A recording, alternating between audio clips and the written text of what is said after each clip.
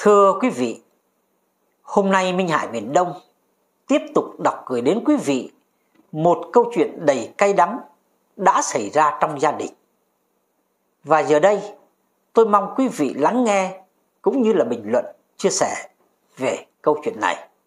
Xin chân thành cảm ơn. Mời quý vị cùng theo dõi. Thấy bố chồng mắng như tát nước vào mặt tôi chỉ vì cái bát vỡ.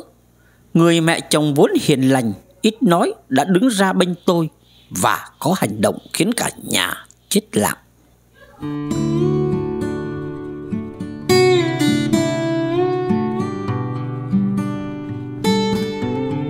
Thông thường, mối quan hệ mẹ chồng nàng dâu khó mà hòa hợp, êm ấm. Nhưng với tôi lại khác. Chồng và mẹ chồng đều rất thương tôi, nhưng mối quan hệ giữa tôi với bố chồng lại không được tốt lắm. Ông khá khó tính, luôn nhìn tôi bằng ánh mắt lạnh lùng, khiến tôi lo lắng sẽ làm gì phật ý ông.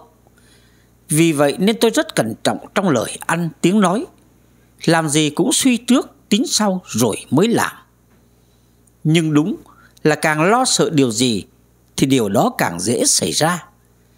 Một hôm, tôi đang sắp bát để chuẩn bị ăn tối thì lỡ tay làm vài chiếc bát bị vỡ. Tôi nhanh chóng nhặt những mảnh vỡ dưới đất lên, nhưng trong lòng lại rất sợ bố chồng mắng. Quả nhiên, tiếng rơi vỡ bát vừa rồi đã khiến bố chồng tôi đang nghe điện thoại ngoài nhà giật mình. Ông vội vàng chạy vào nhà bếp xem chuyện gì đã xảy ra. Thấy tôi đang nhặt bát vỡ trên đất, ông liền mắng xối xả vào mặt tôi. Sao cô không làm được cái gì nên hồn vậy? Có cái bát cũng cầm không nên. Cô ăn gì mà ngu vậy? Sao con trai tôi lại cưới về một cô vợ ngu ngốc như cô thế chứ? Nghe bố chồng chửi, tôi sợ hãi tới mức ngồi im, không dám nhúc nhích. Cố gắng kìm lại những giọt nước mắt tủi hổ đang trực trào ra. Đúng lúc này, mẹ chồng tôi cũng chạy tới, thấy bố đang chảy mắng và tôi đang run lên vì sợ hãi. Mẹ liền chạy tới và nói Được rồi, chuyện có gì đâu mà anh phải nổi nóng như thế.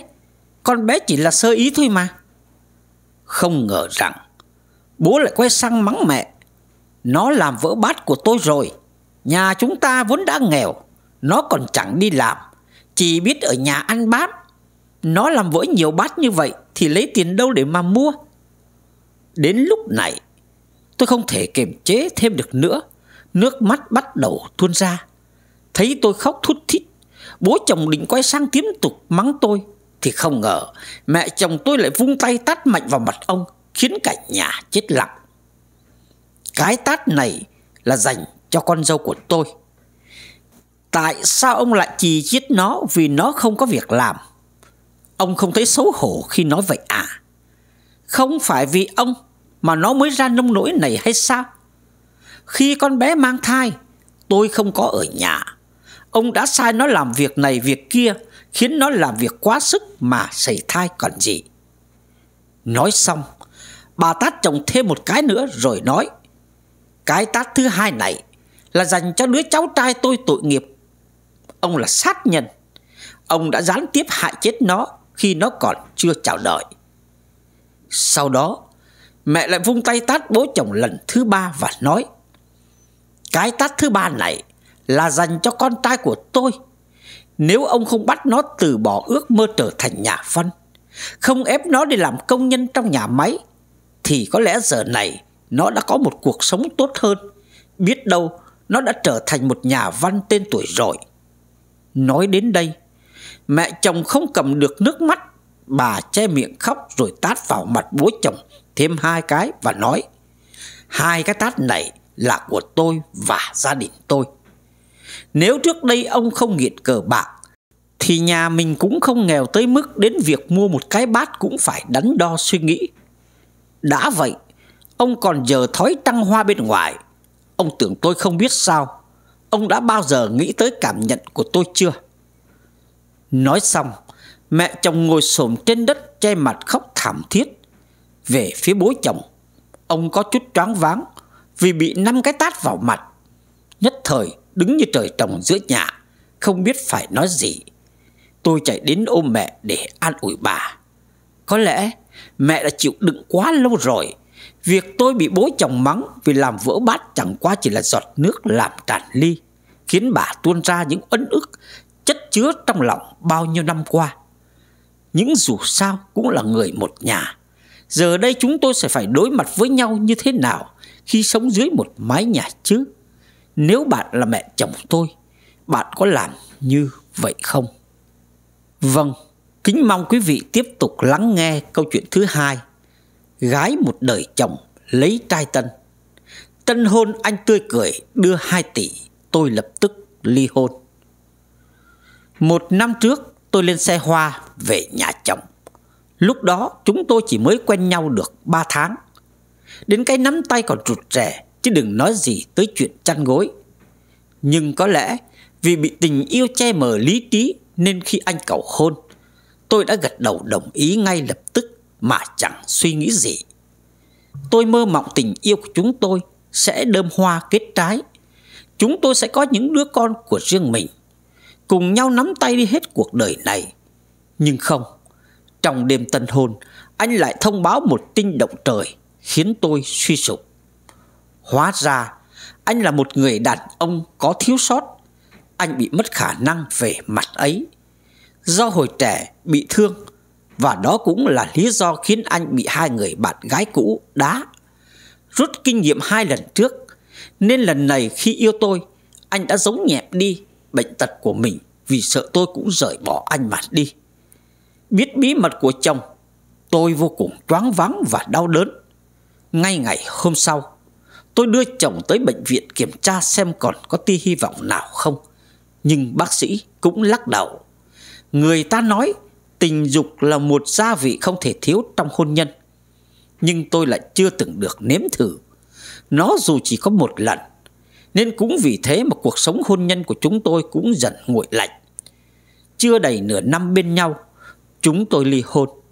Tôi chuyển về quê sống cùng gia đình.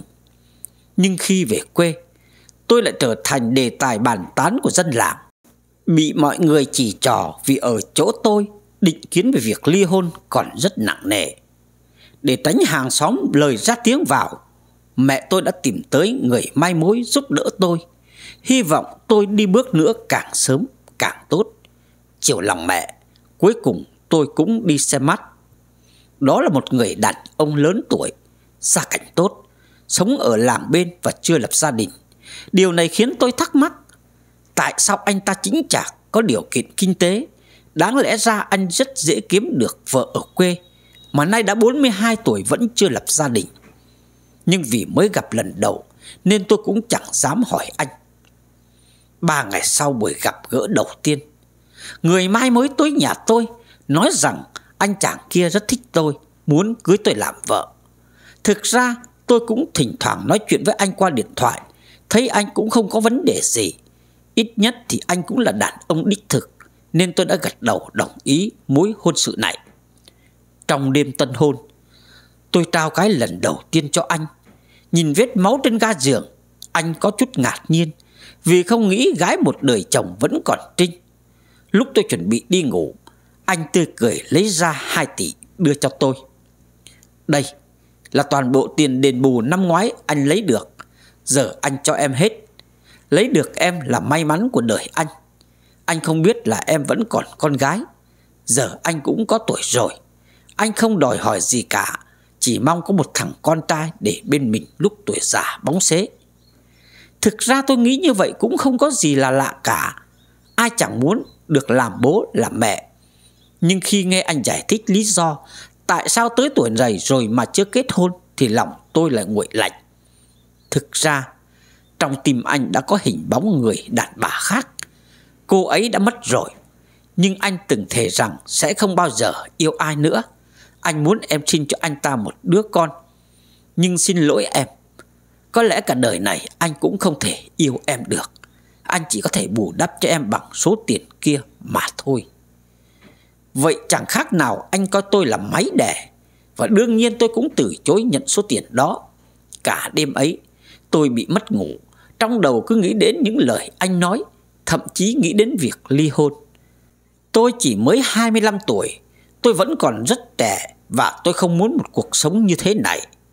Sống với một người đàn ông không yêu mình, trong tim chỉ có hình bóng người khác, thì sống thế nào đây? Tôi thực sự không có dũng khí để đi tiếp. Tôi biết mình đã lấy chồng lần thứ hai.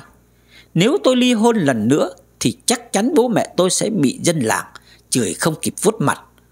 Mà kể có bỏ ngoài tai lời đàm tiếu của họ thì tôi cũng không có niềm tin rằng cuộc hôn nhân tiếp theo của tôi sẽ hạnh phúc. Bây giờ tôi rất hụt hẫng và không biết phải làm như thế nào. Tôi có nên ly hôn hay là không?